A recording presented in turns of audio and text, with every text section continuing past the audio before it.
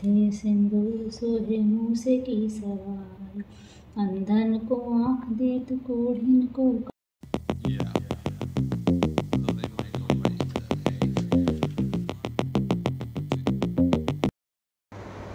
Hello मेरे प्यारे दोस्तों welcome to Jolly Tiwari's blog and this is my third blog so आज का क्या मूड है, ये मैं आपको बताती हूँ। अभी दिन के आठ बज रहे हैं और मैं नहा धो के बैठ गई हूँ, बस बाल कोम करने बचे हैं और अब मैं अपना काम स्टार्ट करूँगी कुछ ही देर में। मम्मी ब्रेकफास्ट बना रही है तो हम लोग ब्रेकफास्ट करके अपना काम स्टार्ट करेंगे। जैसे ही ब्रेकफास्ट आता है, मम्मी आती, मैं आपकी मुलाकात कराती हूँ दोनों से। ये देखिए गाइस आप देख सकते हैं ब्राउनी क्या कर रहा है। ब्राउनी सो रहा है। पता नहीं, रात में भी सोया है, दिन में भी सोता है, इतना कैसे सोता है ये? देख सकते हैं, हमारा नाश्ता आ गया है। मम्मी ने मुझे बोला है कि ये उत्पम भी है, चिल्ला भी है और फिर मैंने कहा अच्छा इसमें सूजी होगी? कह रही, नहीं, इसमें ओट्स है। तो अब मैं देखती हूँ खा के कि ये कैसा है। रिव्यूज़ देना बहुत आसान है, बनाना बहुत मुश्किल और ये मुझे जल्द ही पता चलेगा जब मैं यहाँ से जाऊँगी। तो खा के मैं आपको बताती हूँ गाइस कि कैसा बना है ये चिल्ला।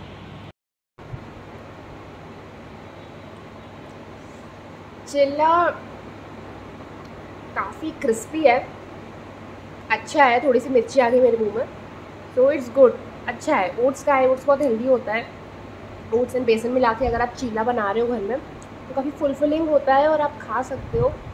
आपका दो घंटे तक पेट तो भरा ही रहेगा। तो हाँ जो लोग हेल्दी खाना चाहते हैं, उनके लिए चिल्ला बेस्ट है।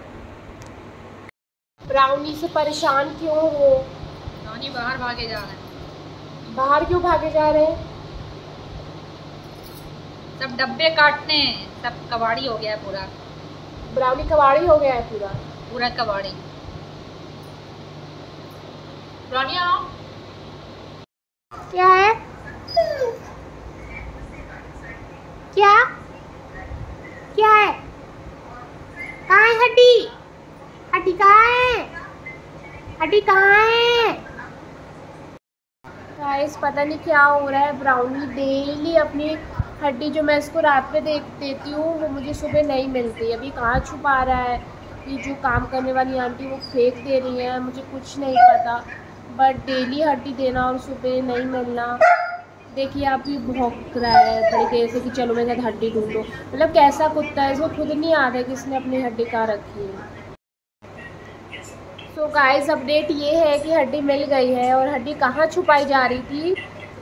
हमारी जो खिड़की है, वहाँ पे जो बॉल है, उसके ऊपर हड्डी मिली मुझे। मतलब हड्डी ऐसे जमा की गई थी। तो यही हमारे कुत्ते की हरकतें हैं ये। हड्डी वहाँ जमा करके रखता है, रात में भूल जाता है और सुबह मुझसे कहता है, हड्डी ढूंढो। तो फाइनली जगह पता चल गई है। मतलब हड्डी वहीं मिलेगी। गाइस आप देख सकते हैं ब्राउनी बैठा है और उसने अपनी हड्डी फेंक दी है। फेंको, पर मुझे अभी जिम जाना है। मेरी ब्लैक कॉफ़ी आ चुकी है, जो मैं जिम जाने से पहले पीती हूँ।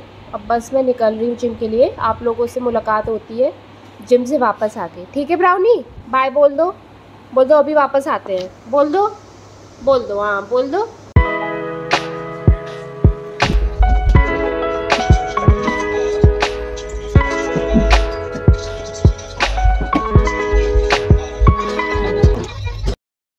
गाइस एकदम से हमारा प्लान बना है कि हम गणेश चतुर्थी की गणेश जी को स्था, स्थापित करेंगे तो हम वही सब लेने जा रहे हैं। और मार्केट पहुँच के आपसे फिर मुलाकात होती है। ब्राउनी भी अंदर है हम क्योंकि पाँच मिनट में आ जाएँगे। गाइस आप देख रहे हो कि मौसम बहुत अच्छा हो रहा है। भैया और मैं दिखाती हूँ आपको।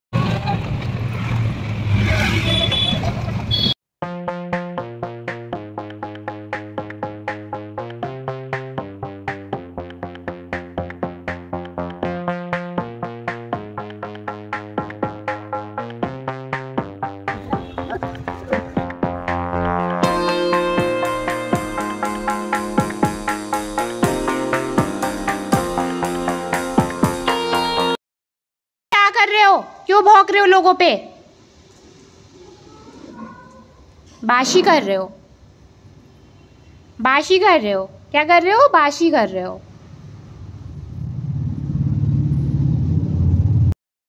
सो so गाइस आप देख सकते हो, मैंने ना धूप चेंज कर लिया है बिकॉज़ पूरा भीग गए थे हम लोग और मतलब हमारे जाते ही बारिश शुरू हो गई। हमने गन्नू जी को लिया और माला लिया। और भी बहुत सारी रिलेटेड चीज़ें ली जिससे उनका श्रृंगार वगैरह होगा। उनको हम लोग कोशिश करें आज ही स्थापित कर दें क्योंकि ऑलरेडी छः बज चुके हैं। बट मुझे बोला गया है कि साढ़े छः तक करना है तो हम कोशिश करें आज ही कर दें। बाकी जो अपडेट होती मैं आपको बताती हूँ। तो आरती कर लें।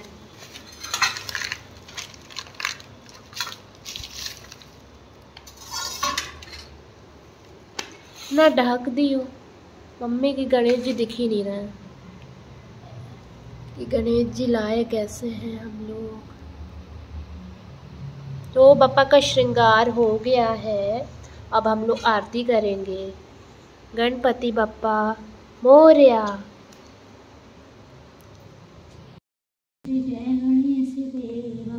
माता जाकी पार्वती पिता महादेव दंत दया दंत चार भुजाधारी माथे सिंदूर सोहे मूस की सवारी। अंधन को आँख देत कोढ़िन को काया की से तो गाइस आप देख सकते हो, आरती हो गई है। आप लोग भी आरती ले लो। भगवान आपकी सारी मनोकामनाओं को पूरा करे। और इस गणेश चतुर्थी में भगवान गणेश जी हम सबसे प्रसन्न होकर हमें खूब सारा आशीर्वाद दे। हमें भी, आपको भी और ब्राउनी को भी। तो गाइस मैं आपको लास्ट ईयर की गणेश चतुर्थी की स्टोरी सुनाती हूँ। मैंने बहुत शौक से, अपनी फेवरेट शॉप से लड्डू मंगवाए थे मोतीचूर के, ठीक है? हमने उसको ना भोग लगाने से पहले उसको हमने बाहर रख दिए। दो लड्डू का हमने भोग लगाया, बाकी सारे लड्डू हमने बाहर रख दिए और डिब्बा बंद था और इस पर ड्राइंग टेबल पे रखा था। हम जब वापस आए मैंने देखा डिब्बा बंद है, लेकिन जैसे मैंने डिब्बा खोला और लड्डू खाने के लिए, देखा पूरा डिब्बा साफ़ था। हमें लगा, ये कौन खा गया? फिर बाद में पता चला, ब्राउनी ने सारे के सारे लड्डू खा के ख़त्म करके, डिब्बा बंद करके, आराम से बैठा हुआ क्योंकि उसके मुँह में लड्डू लगे हुए थे। कौन आया है? ये कौन आया है अपनी जीप टेढ़ी करके? कौन आया है? अच्छा पुप्पू आ गई क्या? अच्छा अच्छा अच्छा अच्छा अच्छा अच्छा आई आई आई आई आई। बैठिए बैठिए ब्राउनी, बैठिए। रेस्ट करिए रेस्ट करिए। ब्राउनी, आप टहल के आए, आप रेस्ट करिए।